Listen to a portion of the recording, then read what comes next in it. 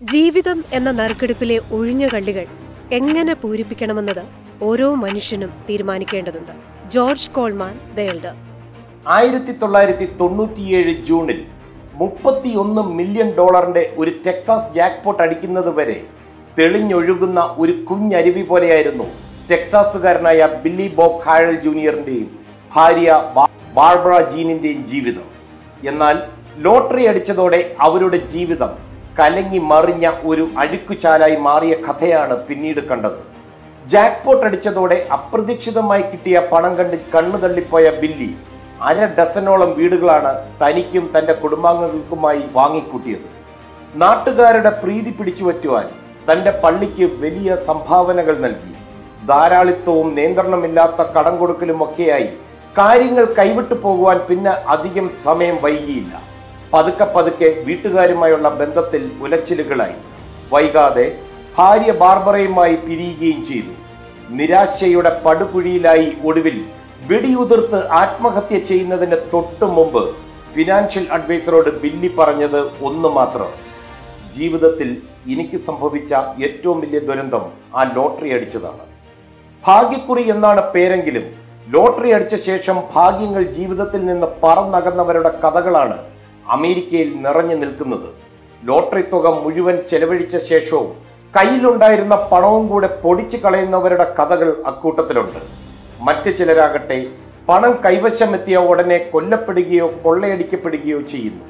മറ്റു ചിലർ മദ്യത്തിലും മയക്കുമരുന്നിലും ജീവിതം ആഘോഷിക്കാൻ ഇറങ്ങുമ്പോൾ ഒടുവിൽ ദുരന്ത കഥാപാത്രങ്ങളായി തീരുന്നു. ബന്ധുക്കൾ ശത്രുക്കളായി തീരുന്നു സുഹൃത്തുക്കൾ തെറ്റിപ്പിരിയുന്നു. ഒടുവിൽ ഒറ്റപ്പെട്ടലിന്റെ ലോകത്തെത്തിപ്പെടുകയും ചെയ്യുന്നു. അമേരിക്കയിൽ ലോട്ടറി അടിച്ചവരിൽ എഴുപത് ശതമാനം പേരും കുറഞ്ഞത് ഏഴു വർഷത്തിനുള്ളിൽ തന്നെ പാപ്പരായി മാറുകയോ ദുരന്തങ്ങളിലേക്ക് പതിക്കുകയോ ചെയ്തിട്ടുണ്ടെന്നാണ് New York Daily News report ചെയ്യുന്നത്. അതായത് എന്നാൽ ഞാനൊരു സത്യം പറയട്ടെ എനിക്ക് വിശക്കുന്നു എന്ന് പറഞ്ഞ് തിരികെ വരുന്ന കിലുക്കൻ സിനിമയിലെ കിട്ടുണ്ണിയുടെ അവസ്ഥ. കേരളത്തിലായാലും ഡോളർ കിലുക്കത്തിന്റെ അമേരിക്കൻ ജാക്ക്പോട്ടിലായാലും ലോട്ടറി അടിച്ചിട്ടും ഉള്ളത് കൂടി കൈവിട്ടു പോയ ഒരു പിടി ഹതഭാഗ്യരുടെ ജീവിതത്തിലേക്കാണ് അമേരിക്കൻ ടൈംസിന്റെ ക്യാമറ എത്തി നിൽക്കുന്നത്. ചില അമേരിക്കൻ ലോട്ടറി ഗാഥകളിലേക്ക്.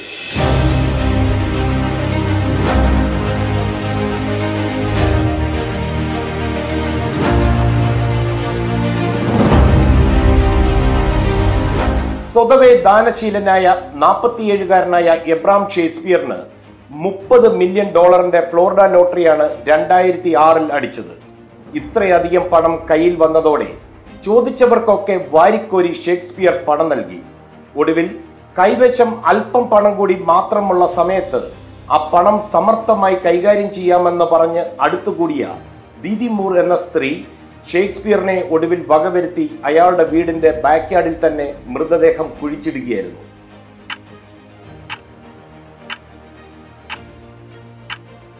A Kentucky man who won part of the $280 million lottery jackpot after being laid off from his job has died.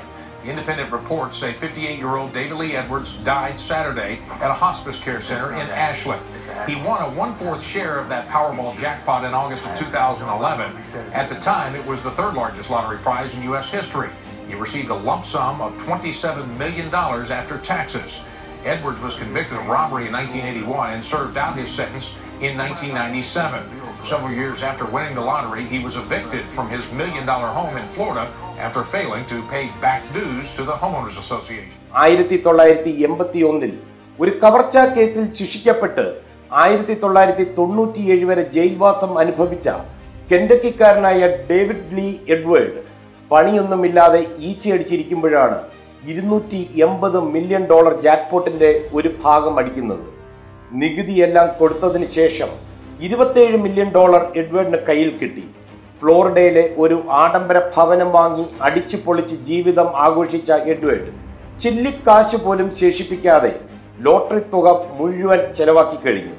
ഒടുവിൽ ഹോം ഓണേഴ്സ് അസോസിയേഷനുള്ള കുടിശ്ശിക കൊടുക്കാത്തതിനാൽ സ്വന്തം വീട്ടിൽ നിന്ന് ഒഴിപ്പിക്കപ്പെട്ടു. എഡ്വേർഡ് പിന്നെ കഴിഞ്ഞത് മനുഷ്യ വിസർജ്യത്താൽ ചുറ്റപ്പെട്ട ഒരു സ്റ്റോറേജ് യൂണിറ്റിലായിരുന്നു ഒടുവിൽ കെൻഡക്കിയിലെ ഒരു കമ്മ്യൂണിറ്റി കെയർ സെന്ററിൽ അമ്പത്തിയെട്ടാം വയസ്സിൽ മരണമടയുമ്പോൾ കയ്യിലൊരു ചില്ലിക്കാശ് പോലും ഇല്ലായിരുന്നു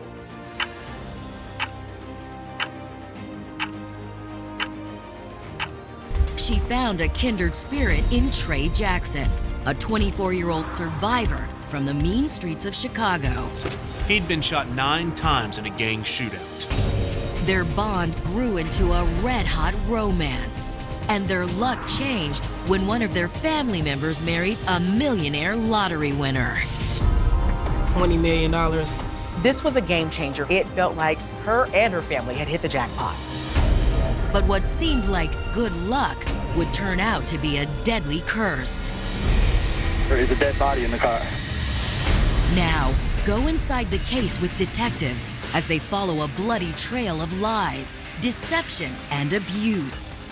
A trail that would lead to multiple suspects, expose a family's dark secrets, and ultimately end in murder. പണം കൈവശമുള്ളവർക്ക് കാമുകിമാരുടെ എണ്ണവും കൂടുമെന്നതാണ് അമേരിക്കയിലെ ഒരു രീതിശാസ്ത്രം ആയിരത്തി തൊള്ളായിരത്തി തൊണ്ണൂറ്റിയാറിൽ ഇരുപത് മില്യൺ ഡോളറിന്റെ ഇലിനോയ്സ് ലോട്ടറി അടിച്ച ജെഫ്രി ഡാംബിയറുടെ കഥയും ഏതാണ്ട് ഇതുപോലെ തന്നെ ലോട്ടറി അടിച്ച പണം മുഴുവനും തന്റെ രഹസ്യ കാമുകിയായ ഭാര്യ സഹോദരി വിക്ടോറിയ ജാക്സന് സമ്മാനങ്ങൾ വാങ്ങി നൽകുന്നതിനാണ് ജെഫ്രി ഉപയോഗിച്ചത്. ഫ്ലോറിഡയിലെ ഒരു പോപ്കോൺ സംരംഭകനായി കഴിയവേ രണ്ടായിരത്തി അഞ്ചിൽ കാമുകിയും കാമുകിയുടെ ബോയ് ഫ്രണ്ടും ചേർന്ന് ജെഫ്രിയെ തട്ടിക്കൊണ്ടുപോയി കൊലപ്പെടുത്തുകയായിരുന്നു. ലോട്ടറി അടിച്ചതിന് ശേഷം ദുരൂഹമായി കൊല്ലപ്പെട്ടവരുടെ കൂട്ടത്തിൽ ഷിക്കാഗോയിലെ ഇന്ത്യക്കാരനായ ഉറോജ് ഖാനും ഉണ്ട്. ഷിക്കാഗോയിൽ ഡ്രൈ ക്ലീനിംഗ് ബിസിനസ് നടത്തുകയായിരുന്ന ഈ ഇന്ത്യൻ കുടിയേറ്റക്കാരന് രണ്ടായിരത്തി പന്ത്രണ്ടിൽ ഒരു മില്യൺ ഡോളറിന്റെ ഇലിനോയ്സ് ലോട്ടറിയുടെ രൂപത്തിലാണ് ഭാഗ്യമെത്തിയത്. തന്റെ കടങ്ങളെല്ലാം വീട്ടുവാനും ചാരിറ്റിക്കായി പണം നൽകുവാനുമൊക്കെയായിരുന്നു ഖാന്റെ പദ്ധതിയെങ്കിലും. നികുതി കഴിച്ചുള്ള തുകയുടെ ചെക്ക് ലഭിച്ചതിന്റെ തൊട്ടടുത്ത ദിവസം രക്തം ഛർദ്ദിച്ച് ഖാൻ മരിക്കുകയായിരുന്നു. പ്രാഥമിക പരിശോധനയിൽ അതൊരു സ്വാഭാവിക മരണമാണെന്ന് വിലയിരുത്തപ്പെട്ടിട്ടുണ്ടെങ്കിലും പിന്നീട് സൈനൈഡ് വിഷബാധ മൂലമാണ് ഖാൻ മരിച്ചതെന്ന് കണ്ടെത്തപ്പെട്ടു. പക്ഷേ ആരാണ് ഖാനെ കൊല്ലപ്പെടുത്തിയതെന്ന കാര്യം മാത്രം ഇപ്പോഴും ഉത്തരമില്ലാതെ തുടരുന്നു. ലോട്ടറി അടിച്ച് ഒരു മാസത്തിനുള്ളിൽ തന്നെ പാപ്പരായി തീർന്നവരുമുണ്ട് അമേരിക്കയിൽ. ആയിരത്തി തൊള്ളായിരത്തി എൺപത്തി എട്ടിൽ പെൻസിൽവേനിയയിൽ പതിനാറ് മില്യൺ ഡോളറിന്റെ ലോട്ടറി അടിച്ച വില്യൻ ബട്ട് പോസ്റ്റിന്റെ മുൻ കാമുകി ആ പണത്തിന്റെ വീതം കിട്ടുവാൻ അയാളെ കോടതിയിൽ കയറ്റി അത് നേടിയെടുത്തു. ഇതിനു പുറമെ അയാളുടെ സ്വന്തം സഹോദരൻ പണം കൈവശപ്പെടുത്തുവാൻ ഒരു ഗുണ്ടയെ ഏർപ്പെടുത്തുക പോലും ചെയ്തു. മറ്റ് ബന്ധുക്കളും പണത്തിനായി മുറവിളി തുടങ്ങിയതോടെ എല്ലാവർക്കുമായി പണം വീതിച്ചു നൽകുവാനായി നിർബന്ധിതനായി ബഡ് പോസ്റ്റ് അധികം വൈകാതെ ഒരു മില്യൺ ഡോളറിന്റെ കടക്കണിയിൽ പെട്ട് പോസ്റ്ററായി പോയി ഈ പാവം ബഡ് പോസ്റ്റ് വിചിത്രമായ ചില ലോട്ടറി സമാന കഥകളാണ് കാലിഫോർണിയയിൽ നിന്ന് വരുന്നത്. ഭാര്യയ്ക്ക് ലോട്ടറി അടിച്ച ഉടനെ തന്നെ ഭർത്താവിനെ വിവരം അറിയിക്കാതെ അയാളിൽ നിന്ന് വിവാഹമോചനം നേടാൻ കോടതി കയറിയ സ്ത്രീകളുമുണ്ട് ഈ കൂട്ടത്തിൽ. കാലിഫോർണിയ ലോട്ടറിയുടെ ഒന്നേ ദശാംശം മൂന്ന് മില്യൺ ആയിരത്തി തൊള്ളായിരത്തി തൊണ്ണൂറ്റിയേഴിൽ നേടിയ ഡിനസ് റോസിക്ക് വിനയായത് മുഴുവൻ തുകയും തന്റേത് മാത്രമായിരിക്കണമെന്നുള്ള ദുരാഗ്രഹമാണ്. പക്ഷേ രണ്ട് വർഷത്തിന് ശേഷം തന്റെ മുൻ ഭാര്യ ലോട്ടറി അടിച്ച വിവരം തന്നിൽ നിന്ന് മറച്ചു വെച്ചുവെന്ന് ആരോപിച്ച് കേസ് കൊടുത്ത ഭർത്താവിന് ലോട്ടറി തുക മുഴുവനായി കൈമാറാനായിരുന്നു കോടതി വിധിച്ചത്.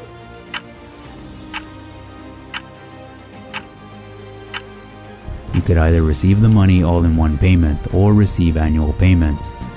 Depending on the amount you won, you can live your life in luxury for a few years or for the remainder of your life, depending on how old you are and how much you have won.